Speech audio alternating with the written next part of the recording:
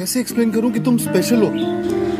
ये भी मैं बताऊँ। मैं कैसे स्पेशल हूँ ये मुझे बताना है। तो तुम क्या करोगे? रोल क्या है तुम्हारा?